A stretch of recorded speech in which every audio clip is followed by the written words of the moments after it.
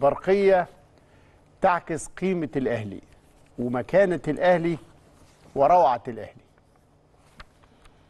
وحق جمهور الأهلي أن يفخر بناديه وبرئيس ناديه الكابتن محمود الخطيب اللي تلقى برقية من السيد نصر الخليفي رئيس رابطة الأندية الأوروبية لكرة القدم بيدعوه لحضور جمعية عمومية لرابطة الأندية الأوروبية المحترفة هيعقد في أكتوبر القادم في أثينا قال النادي الأهلي في بيان له أن الكابتن محمود الخطيب تلقى دعوة من نصر الخليفي رئيس رابطة الأندية الأوروبية لحضور فعاليات الجمعية العمومية الحادية والثلاثين للرابطة والتي تحدد لها الفترة من 8 إلى 10 أكتوبر آه، القادم في اليونان.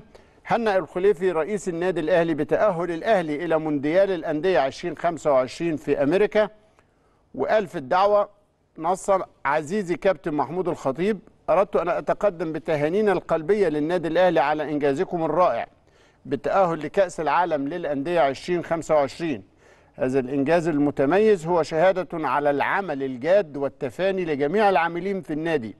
بالنيابة عن مجلس إدارة رابطة الأندية الأوروبية يسعدني أيضا أن أدعوكم لحضور الجمعية العمومية الحادية والثلاثين لرابطة الأندية الأوروبية التي ستعقد في أثينا باليونان في الفترة من 8 إلى 10 أكتوبر 2024 وبيقول السيد ناصر الخليفي في برقيته نحن فخورون بأن هذه الجمعية العمومية لرابطة الأندية الأوروبية ستكون الأكبر في تاريخنا وهذه مناسبة للتواصل على نطاق واسع مع مالكي الأندية وكبار المديرين التنفيذيين والأطراف المعنية لمناقشة أهم الأمور التي تواجه كرة القدم للأندية وصياغة رؤية مشتركة للمستقبل. نأمل أن تنضم إلينا في أثينا جنبا إلى جنب مع أكبر تجمع لأعضاء رابطة الأندية الأوروبية على الإطلاق حيث أن مساهمتك القيمة ومشاركتك الفعالة ستكون مفيدة في تشكيل مستقبل كرة القدم للأندية. طيب وإحنا لسه محتاجين نتكلم ونقول حاجة عن المكانة الدولية للنادي الأهلي ورئيسه؟ والانطباع الذي يحظى به النادي الأهلي ورئيسه هو وكابتن حسن في يوم ما يعني كان من الاتحاد الأفريقي لا وكان سفير اليورو في النمسا. ما أنا أقصد أقول آه. لك يعني النهارده لما أنت رايح تحضر جمعية عمومية لأندية أوروبا آه. بتوسع بتناقش هموم الأندية وبتناقش مستقبلها وخططها. ثم تستدعى لأنك بتهنأ على كنادي إنجازاتك. آه واخرها التاهل آه، لكأس العالم 2025 أيوه وبعدين بصفتك الشخصية كواحد من أهم الكوادر والشخصيات الرياضية اللي الناس بتحترمها بتحترم آه، آه، آرائها وتواجدها. وهذا الوقار وهذه الرزانة التي يتمتع بها النادي الأهلي ورئيسه هي محل تقدير بالتأكيد. كما نراه مترجم. خرجنا بقى من إطار بقى والنبي المهابرة والكلام ال- اللي بيصغرنا كلنا هنا. فبدل ما نشتغل كلنا عشان كلنا نروح الجانب المضيء لا عايزين اللي بي بي موجود هناك ده يجي يقعد جنبنا. خلينا كلنا ننظر للنادي الأهلي كما يستحق كما يراه العالم. مش كما نود أن ن- نقدمه لأنفسنا عشان نرتاح.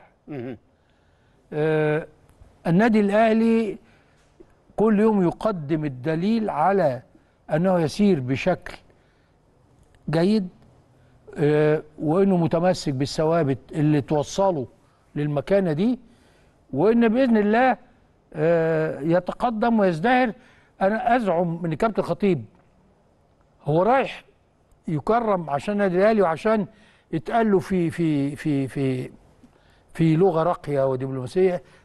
عايزين نستفيد من خبرات لكن أعتقد أيضا سينقل الكثير من الرؤى التي سيراها. وهنا النقلة اللي ممكن نقدر نشوف النادي الأهلي فيها آه، في الفترة الجاية. إنك الاحتكاك مع المستويات زي مستويات الكرة الأوروبية اللي هي الأقوى على مستوى العالم دلوقتي. خلينا صرحاء إن الكرة الأقوى التي دائما. لا يعني الكرة اللاتينية كان يتقال آه إنما لما على مستوى المنتخبات شوية البرازيل والأرجنتين لكن على مستوى الأندية أنا باستمرار. بكلمك ما أنت بتقيم ال- الدول برضه بمنتخباتها. إنما النهارده لا ما بقاش. كده. آه. ما بقاش كده. أوروبا بقت موجودة أندية و وناشئين وناشئات ويو يعني آه، آه، آه، موجودة الدوري الأكثر جذبا للانتهاء للانتباه في العالم موجود في أوروبا دوريات مش الدوري. فهي تج... تجربة طبعا ثرية رائعة تدعو إلى الفخر وأزعم انها ستؤدي إلى ثمار الاستفادة في النهاية. الحقيقة دي مسألة مهمة جدا ولو هي خدوا بالكم هي دي رابطة الأندية الأوروبية. فإنها تختار الكريمة بتاعه أفريقيا زي ما قال السيد نصر الخليفي إحنا فخورين بالنادي الأهلي وسعداء بالنادي الأهلي وسعداء بتأهل النادي الأهلي لكأس العالم للأندية وسعداء بدعوة رئيس النادي الأهلي كابتن محمود الخطيب. الأهلي دائما هو المستثنى. أنت بتتكلم على دي أفريقيا. لكن أن يستثنى الأهلي من قارة أفريقيا كلها عشان يكون حاضرا لاجتماع للرابطة الأوروبية الأكثر تقدما الدورة ديت السيد نصر الخليفي بيقول لك الدورة الحادية والثلاثين. يعني أنتم متخيلين رابطة أندية في أوروبا عميقة وتاريخية وقديمة ورصينة بهذا الشكل. أفريقيا كانت بدأت السيد مت... باترس موتسيب من سنتين بدأ مهتم برابطه الأندية الأفريقية ودعا إلى تشكيلها وعرض على الكابتن محمود الخطيب وقتها أن يتقدم لرئاستها واعتذر الكابتن الخطيب لظروف صحية. لكن أفريقيا اهي بتن... بت... بت... ماشيه في الطريق في تطوير كرة الأندية.